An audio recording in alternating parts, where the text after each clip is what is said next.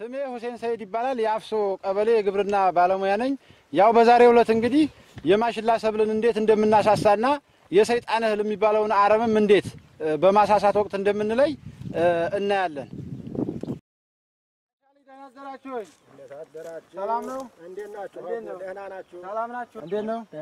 ያው በቀጠሯችን መሰረት መጥቻለሁ። ያው እርስዎ ግን ቀድመው እያሳሱ ነው ያገኘኋቸው። በጣም ጥሩ ነው። እሺ። እኔም እኮ እንደዛው እንደተቃጠር ነው ስሰራ ነው ያገኘኸኝ እኮ እየሰራሁ ነው። እኔም እንግዲህ ዛሬ የመጣሁት እንዴት እያሳሱ እንደሆኑ ላይለዎትና በቀጣይ ደግሞ እንዴት እንደሚያሳስሉ ነግሮት ነው እዚህ ማሳው ድረስ የመጣሁት። እኔ እንግዲህ አሁን በዛው በቀጠሯችን መሰረት እየሰራሁ ነው ያገኘኸኝ። ቅሬታ ታለ ደግሞ በስራው ላይ ትመራኛለህ፣ ታሳየኛለህ ደግሞ አሁን እስቲ እርስዎ እያሳሱ ያሳዩኝና እኔ ደግሞ እንዴት መሳሳት እንዳለበት እ፣ እነግረዎታለሁ እሺ እና እየሰሩ ቢያሳዩኝ። እንግዲህ አሰራሬን ይልኝና ደግሞ በተጨማሪ ቅሬታ ተ- የተሰማው ሆነ እያደረ አሳምሬ እሰራለሁ። ደግሞ መጣክም በጣም ወድጃለሁ። እንኳን መጣህልኝ። ጥሩ ነው እየሰሩ ያሉት ስራ ጥሩ ነው። በደንብ ግን መሳሳት ስላለበት ሳይፈሩ ይንቀሉት፣ ችግር የለውም ይንቀሉት በደንብ እንዲሳሳ። እሺ እሺ። አሰራሬ እንግዲህ እንደዚህ ያለ ነው። ይኸውልህ አሰራሬን እይልኝና አስተካክላለሁ። ደግሞ ቅሬታ ታለ የኔ አሰራር እንግዲህ ይሄ የምታየው ነው። እንደዚህ ነው። ይኸውልህ ጋሻልኝ ይሄ እያሳሱት ያለው ስራ ይቀረዋል። ከአንዷ ተክል አንዷ ተክል መራቅ ያለበት የራሱ እንትን ስላለው ይቀረዋል። በጣም መነጠል መቻል አለበት። በጣም መሳሳት አለበት እና እኔ ያሳየሁታለሁ እንዴት እንደሚሆን። እንዲህ የሰራሁት ይቀረዋል እንዴ? እኔ እኮ ባለፈውም አሳሳና ዝራ ተትለኝ ሆን ብዬ ነው ያበዛሁት። ያው እንግዲህ ጋሻልኝ በተነጋገርነው መሰረት በመስመር ዘርተዋል። ዘሩን ግን ለምንድን ነው ያበዙት? በመስመርማ ጥቅሙን አውቄ በመስመር ዘርቻለሁኝ። አሁን ያበዛሁት ከብቶችን እየጠረኩ እንዳበላ ነው በኋላው ላይ ያው እንግዲህ ጋሻልኝ የመስመር ዘር ጥቅም ገብቶት የዘሩበት ሁኔታ ነው ያለው። ዘሩን ግን ለምን እንዳበዙ ሲነግሩኝ ለእንስሳቶቼ መኖነት ፈልጌው ነው ያሉኝ። ይሄ ፈጽሞ መሆን መቻል የለበትም። ምክንያቱም የሚገባንን ምርት ሰብሉ ዘሩ ከበዛ የሚገባንን ምርት ማግኘት ስለማንችል ፈጽሞ ይሄ ነገር መታሰብ መቻል የለበትም። ለእንስሳው መኖ ካሰቡ ከዚህ ማሳ ውጭ በጓሮ ዙሪያ ሊሆን ይችላል፣ በድንበር ላይ ሊሆን ይችላል። እንዲሁም በዚህ በተዘራው ማሽላ በመስመርና በመስመሩ መካከል የተለያዩ የተሻሻሉ የመኖ ዝርያዎችን በመዝራትና በማልማት እንስሶቻቸውን በዛ መንገድ መመገብ መቻል እንደሚችሉ ማወቅ መቻል ይኖርበዋል። እንግዲህ የዛን ያንተን አሰራር ላየውና በዛው ቀጥሌ ደግሞ እንዳንተ አድርጌ እንድሰራ ታሳየኛለህ። አዎ እንዴት እንደሚሰራ ማሳያለሁ። ይሄንን ላሳይህ አይደል የመጣሁት። እሺ እንግዲህ ያው ጋሻልኝ ሲሳሳ እንዴት እንደው በተግባር ላሳይህ ነው። ስናሳሳ በቅድሚያ ሰብሉ ከሶስት እስከ አራት ቅጠል ሲያወጣ መሆን መቻል አለበት። እንዲሁም በምናሳሳበት ወቅት መሬቱ በቂ እርጥበት መኖር መቻል ይኖርበታል። ምክንያቱም ያው በምናሳሳ ሰዓት ተንገለታተው ሌሎቹ እንዳይደርቁ ይረዳናል ማለት ነው። ስለዚህ ዋናው ነገር ስናሳሳ ማዚያ ላይ ለሚዘሩት የረጅም ዝርያዎች ማለት ነው ለዚህ አይነት የማሽላ ሰብል ከአንዷ ተክል አንዷ ተክል 20 ሴንቲሜትር መራቅ መቻል አለበት። እንዲሁም ክረምት ላይ ለሚዘሩ ላጫጭር ዝርያዎች ደግሞ ከአንዷ ተክል አንዷ ተክል 15 ሴንቲሜትር መራቅ መቻል ይኖርበታል። ስለዚህ 20 ሴንቲሜትር ስንል ለምሳሌ በዚህ የማሽላ ሰብል ላይ ይሄን ስንነቅለው ከዛ አንስቶ እስከዚህ ድረስ 20 ሴንቲሜትር ይሄ ራቀልን ማለት ነው። እንዲሁም ወደ ሌላኛው ስንገባ ደግሞ ከዚህኛው እስከዚህኛው እንደዚህ 20 ሴንቲሜትር የሚርቅበት ሁኔታ ነው ያለው። በተመሳሳይ ወደዚህኛውም እንዲሁ 20 ሴንቲሜትር እየራቅ ሰብሉን ማሳሳት መቻል ይኖርብናል ማለት ነው። እንዲሁም ከአንዱ መስመር ወደ አንዱ መስመር ደግሞ 75 ሴንቲሜትር መራቅ መቻል ይኖርብናል። 75 ሴንቲሜትር ስንል እንግዲህ አንድ ክንድና አንድ ስንዝር አካባቢ ማለት ነው 75 ሴንቲሜትር ማለት። ስለዚህ ደግሞ እየለካን ስናየው ይሄ ነው።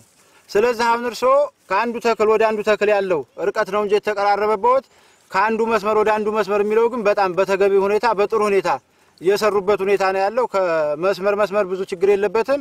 ከአንዷ ተክል ወደ አንዷ ተክል ግን ያነሰበት ሁኔታ ነው ያለው። ስለዚህ አሁን እኔ በነገርኩት መሰረት ከአንዷ ተክል ወደ አንዷ ተክል 20 ሴንቲሜትር በስንዝረው አንድ ማለት ነው። በዛ መሰረት እየለኩ ሁሉንም የማሽላ ማሳውን በዚህ መሰረት ማስተካከል መቻል ይኖርብሃል። እስቲ በእርስዎ ስንዝር እርስዎ ይለኩት እስቲ።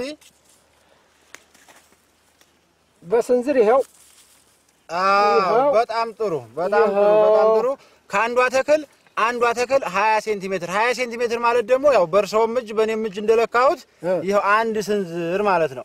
እሺ ስለዚህ በዚህ መሰረት አጠቃላይ ያሉ ማሳዎትን በዛ አግባብ በደንብ አድርገው ብጥር አድርገው ማሳሳት መቻል ይኖርበታል ማለት ነው። በዛ አግባብ ተግባሩን ካከናወን ደግሞ የሚገባውን ምርትም ስለምናገኝ በዚህ መሰረት አጠቃላይ ማሳውን እ፣ ያስተማርከኝ ትምህርት ጥሩ ነበር። ታዲያ አሁን ደግሞ ማሳው ላይ ማሽላው ውስጥ ቂሎ የሚባል ተጨማሪ አብሮ ይበቀላል። ያ እንግዲህ ያሳሳብናል በኋላ ስንመነጥር ደግሞ እሱን በማለት ታስቦ ነው።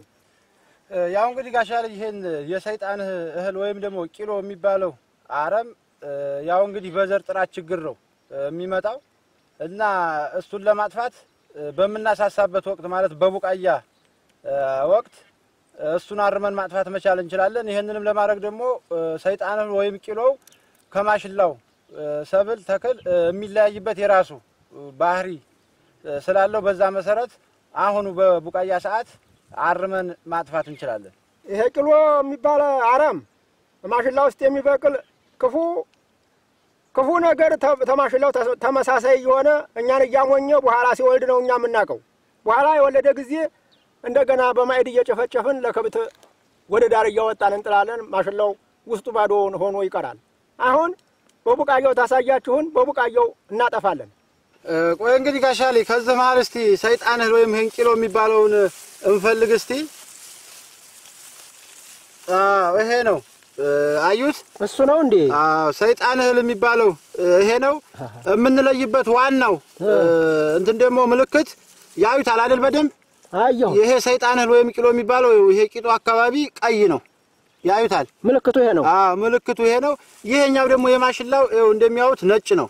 ነጭ ስለዚህ ይሄን ልዩነት ይዩት እስቲ በደንብ ገባኝ። አሁንስ አዩት አይደል? አየሁ። አዎ ነቅለን ደግሞ እናየዋለን። እሺ ዋይ አሁን እንግዲህ ነቅዬ ላሳየዎት።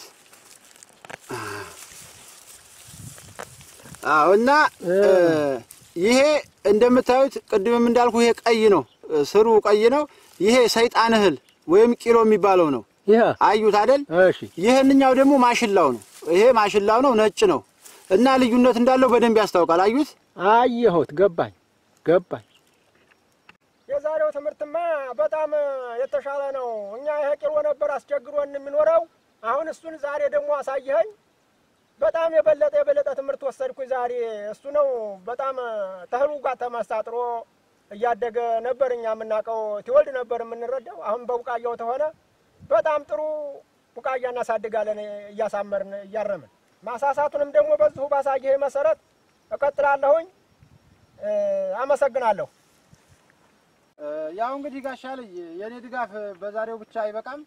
አሁንም ከሁለትና ከሶስት ቀን በኋላ ጥቅል ማሳውን እንዴት አድርገው እንዳሳሱ በድጋሚ መጥቼ የማይበት ሁኔታ ነው ያለው። ሌላው ያው ልክ ዝናብ እንደጣለ ማለት ነው እርጥበት በሚኖርበት ሰዓት ዩሪያ እንዴት በአናት እንደሚጨምሩ እሱንም እዚሁ ቦታው ድረስ መጥቼ ድጋፍ እ፣ አደርግልዎታለሁ። አሁን ላይ ግን እዛ ሌላ የሚጠብቀኝ አርሶ አደርም ስላለ ወደዛ ልሄድ ነው። በሉ እንግዲህ ደህና ዋሉ። በሉ በሰላም እሺ። አዎ እና በርቱ። እሺ እሺ። እሺ እሺ፣ አመሰግናለሁ።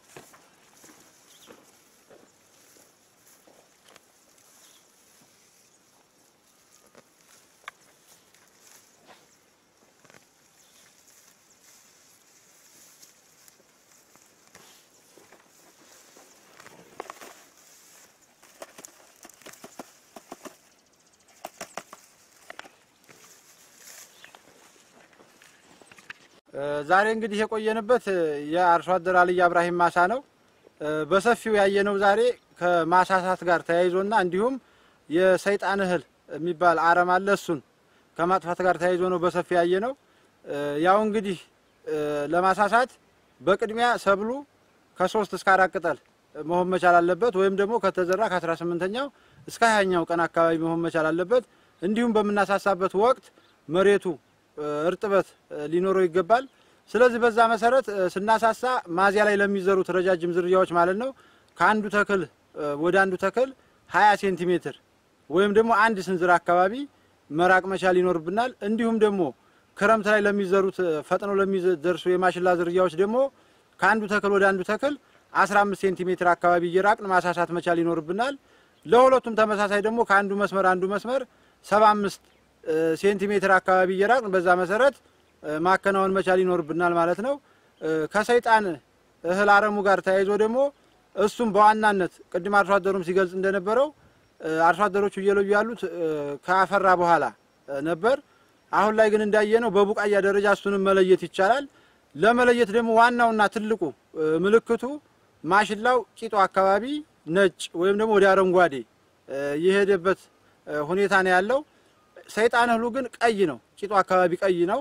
ስለዚህ ያንን ምልክት በማየት በደንብ በቡቃያ ሰዓት ማለት ነው የሰይጣን እህሉን በደንብ ብጥር አድርገን መለየት እንደምንችል በሰፊ ያየንበት ሁኔታ ነው ያለው እና በጥቅሉ አጠቃላይ የማሽላ ምርትና ምርታማነት ለመጨመር በመስመር መዝራት፣ ማዳበሪያ መጠቀም፣ እርጥበት እቀባ መስራት እንዲሁም የበዙትን ማሳሳት እነሱን አሟልተን ሳናዛንፍ ከተጠቀምን የማሽላ ምርትን ወደሚፈለገው ማድረስ መቻል እንደሚኖርብን ነው። ይህን ካረግን ደግሞ የማሽላ ምርትና ምርታማነትም ከምግብ ፍጆታ አልፎ ወደ ገበያ በሰፊው የሚቀርብበትን ሁኔታ ያው እናመጣለን። በመጨረሻ ለአርሶ አደሩ ማስተላለፍ የምፈልገው መልእክት ቢኖር በመጀመሪያ አርሶ አደሩ የተጣራ ምርጥ ዘር መጠቀም መቻል ይኖርበታል። እንዲሁም በመስመር መዝራት መቻል ይኖርበታል። እንዲሁም ማዳበሪያ መጠቀም መቻል ይኖርበታል። ከዘራ በኋላም ደግሞ በወቅቱ ወቅቱን ጠብቆ ማለት ነው ሶስት እስከ አራት ቅጠል በሚሆኑበት ሰዓት ማሳሳት መቻል ይኖርበታል። ከዛ አልፎ ግን ከተባለው ወቅት ካለፈ በኋላ ቢያሳሳው ከቀጨጨ በኋላ ያን ያክል ብዙ ምርት ላይሰጥ ስለሚችል በዛ ሁኔታ ማሳሳት መቻል ይኖርበታል ማለት ነው እና ይሄንን ነው ማስተላለፍ የምፈልገው። ጨርሻለሁ። አመሰግናለሁ።